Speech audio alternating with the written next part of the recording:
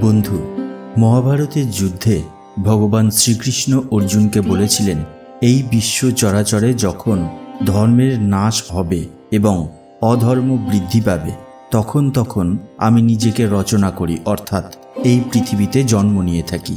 অধর্মের বিনাশ ধর্মের স্থাপনা এবং দুষ্টের বিনাশের জন্য আমি আলাদা আলাদা যুগে আলাদা আলাদা অবতার রূপে জন্মগ্রহণ করি এবং আগেও এইভাবেই জন্মাতে থাকব।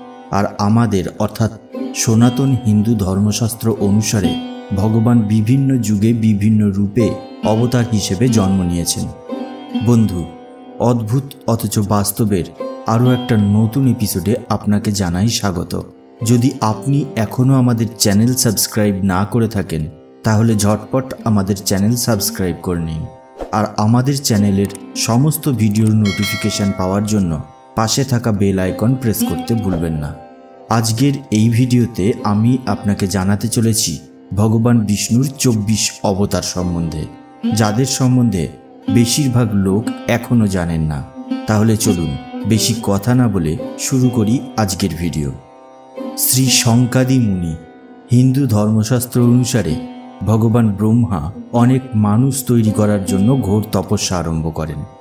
সেই তপস্যায় সন্তুষ্ট হয়ে ভগবান বিষ্ণু, সনক, সনানন্দন, সনাতন সনত কুমার নামের চারজন মুনি হিসেবে অবতার নেন।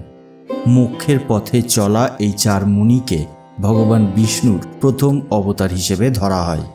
নর নারায়ণ ভগবান বিষ্ণু সৃষ্টির প্রারম্ভে ধর্মের স্থাপনা করার জন্য দুই রূপে অবতার নিয়েছিলেন। তখন ভগবানের পুরো বেশ তপস্বীদের মতো ছিল। শাস্ত্র অনুসারে ভগবানই নরনারায়ণ রূপে অবতার নিয়েছিলেন। বরাহ অবতার। হিরণ্যাক্ষ নামের দৈত্য যখন পৃথিবীকে নিয়ে গিয়ে সমুদ্রের মধ্যে লুকিয়ে রেখেছিল, তখন ব্রহ্মাজির নাকের মধ্যে থেকে বিষ্ণুজি বরাহ রূপে প্রকট হয়েছিলেন। বরাহকে বাংলাতে শুয়োর অথবা শুকর বলা হয়ে থাকে। বরাহরূপী ভগবান বিষ্ণু সেই সমুদ্রের মধ্যে গেলেন এবং প্রথমে পৃথিবীর খোঁজ করলেন। তারপরে হিরণ্যাক্ষের বধ করে পৃথিবীকে পুনরায় নিজের স্থানে স্থাপিত করলেন। নারদ অবতার। দেবর্ষি নারদকেও ভগবান বিষ্ণুর একজন অবতার বলে মনে করা হয়। শ্রীমদ্ ভাগবত গীতাতে ভগবান শ্রীকৃষ্ণ নিজে বলেছেন যে দেব ঋষিদের মধ্যে আমি নারদ। কপিল মুনি ভগবান বিষ্ণু তার পঞ্চম অবতার কপিল মুনির রূপে নিয়েছিলেন। ইনার পিতার নাম মহর্ষি কর্দম আর মাতার নাম ছিল দেবহূতি। দত্তাত্রেয়। যখন ব্রহ্মা, বিষ্ণু এবং মহেশ্বর মাতা অনুসুয়ার পরীক্ষা নেওয়ার জন্য তার আশ্রমে পৌঁছালেন, তখন মাতা অনুসুয়া নিজের তপস্যার ফলের দ্বারা তাদেরকে শিশুরূপে পরিণত করেন। এরপরে সেই ত্রিদেব মাতাকে বরদান করেন যে, আমরা আপনার ঘরে শিশুরূপে জন্ম নেব। সেই সময় ব্রহ্মার অংশ থেকে চন্দ্রমা, ভগবান শঙ্করের অংশ থেকে দুর্বাসা এবং ভগবান বিষ্ণুর অংশ থেকে দত্তাত্রেয়র জন্ম হয়। যজ্ঞ, মনুর পত্নী শতরূপা থেকে আকুতি নামের এক কন্যার জন্ম হয়। সেই আকুতি পরে রুচি প্রজাপতির স্ত্রী হয়। আর তার গর্ভ থেকেই ভগবান বিষ্ণু যজ্ঞ নামে অবতার নিয়েছিলেন। ভগবান যজ্ঞের বিবাহ দক্ষিণা নামের কন্যার সঙ্গে হয়েছিল, যার থেকে বারো জন তেজস্বী পুত্রের জন্ম হয়েছিল, যারা পরে জাম নামক বারো দেবতা হিসেবে পরিচিত হয়। ঋষভদেব, মহারাজ নাভি তার পুত্র সন্তান প্রাপ্তির জন্য তার স্ত্রী মেরু দেবীকে নিয়ে যজ্ঞ করলেন। তখন প্রসন্ন হয়ে ভগবান বিষ্ণু তাদের ঘরে ঋষভদেব অবতার হিসেবে জন্ম নেন, যিনি কীর্তি, তেজ, বল আর পরাক্রমে সবার থেকে শ্রেষ্ঠ ছিল। আদিরাজ পৃথু, বেন নামক রাজার অত্যাচারে অতিষ্ঠ হয়ে সমস্ত ঋষিরা হুঙ্কার করে তাকে হত্যা করে। কিন্তু অরাজকতাকে শেষ করার জন্য নিঃসন্তান মৃত রাজার বেনের শরীর মন্থন করলে সেই শরীর থেকে স্ত্রী এবং পুরুষের একটি জোড়া উৎপন্ন হয়, যাদের নাম পৃথু আর অর্চি রাখা হলো। ইনাদেরকে ভগবান বিষ্ণু এবং মাতা লক্ষ্মীর অবতার বলে মনে করা হয়। পৃথু পৃথিবীর প্রথম রাজা বলে মনে করা হয়, যিনি এই পৃথিবীকে বসবাসযোগ্য করে গড়ে তোলেন। মৎস্য অবতার, মাছের রূপ ধারণ করে ভগবান বিষ্ণু রাজা সত্যব্রত আর সপ্ত ঋষিকে জল প্রলয় থেকে বাঁচান। বলা হয়ে থাকে, এই জল প্রলয়ও ভগবানেরই লীলা ছিল, কুর্ম অবতার।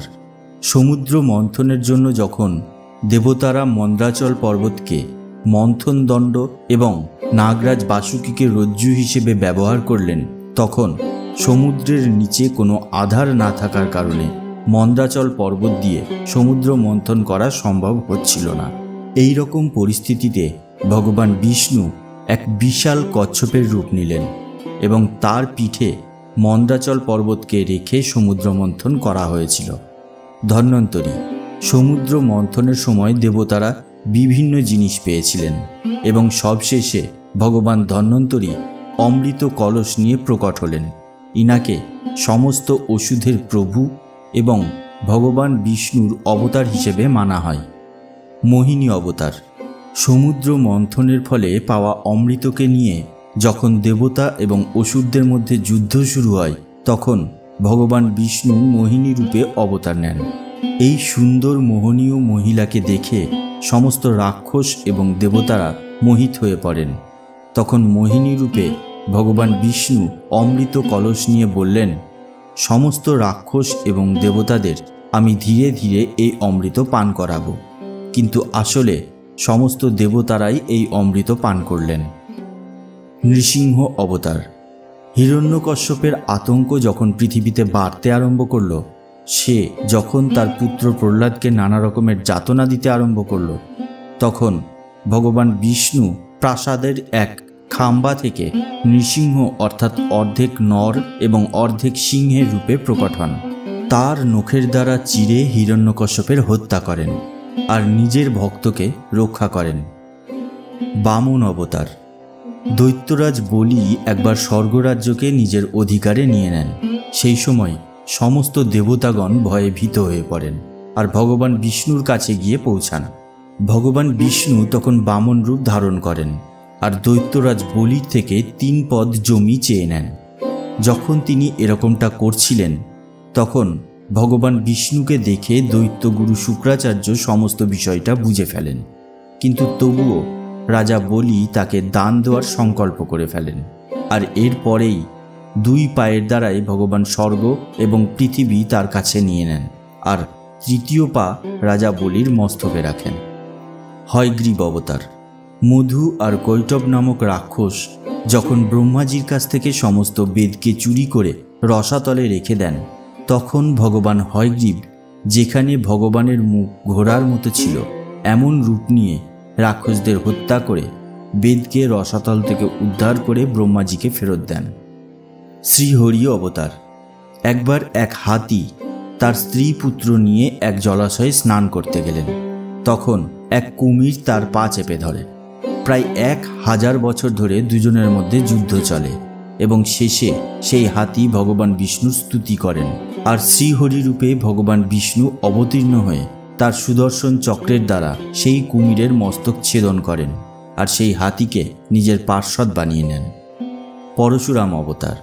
রাজা সহস্রবাহু পৃথিবীতে এত অত্যাচার আরম্ভ করেন যে সমস্ত ঋষিরা তাকে অভিশাপ দেন যে ভগবান বিষ্ণু পরশুরাম অবতারে জন্ম নেবেন এবং সেই কেবল সহস্রবাহুকেই নয়, সমস্ত ক্ষত্রিয়দের বিনাশ করবেন।